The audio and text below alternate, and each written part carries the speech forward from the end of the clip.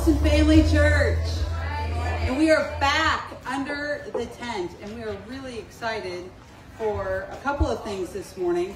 Um, so before we get to worship and our good friend Joey Wright, um, over on the table, if you are interested in lyrics and words to, this morning's worship, um, they're there, but also some really great information that Joey shared with us that he's going to expound upon this morning as he um, shares with us um, his heart for their new church plan is really, really exciting. Um, a couple other announcements. Um, I appreciate everybody. Big thank you to those way out under the trees. Can you guys hear me? Everything good out there? Excellent. We are doing a fantastic job of social distancing. I really appreciate you guys doing that. Families and like houses, like sitting together and all of that. Um, that is good. That is good. Um, if you do um, need a mask or prefer a mask, we do have some available as well over by the um, words and all of that sort of thing. Guys, dudes with muscles, older student boys, um, we need you to hang out for about 15 minutes after service. The tent is coming down.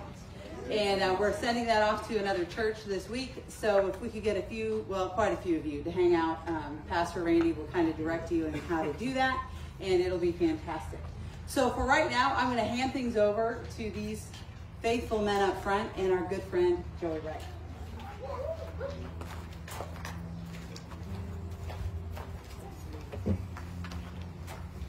Well, good morning. Thanks for having uh, my family with you. I don't think my have you been here before, Kara? It's been a while, right? My wife, Kara, right in the middle here, and then our two girls who are sipping on some milk, ice cold milk. Eliora is four and Iris is two. Thanks for having us here with you. It's always an encouragement to come and worship with you all. Why don't we begin by standing? We're going to sing Graves into Gardens. If you can stand, join with us. And since it's outside, we can sing like so much louder than we ever do. Amen?